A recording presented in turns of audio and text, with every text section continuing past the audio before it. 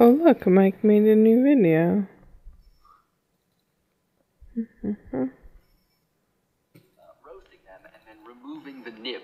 The nib is ground and uh, combined with uh, sugar and cocoa butter to make dark chocolate, or sugar, cocoa butter, and milk to make milk chocolate. Mm. And it's the ratio of all of those ingredients and their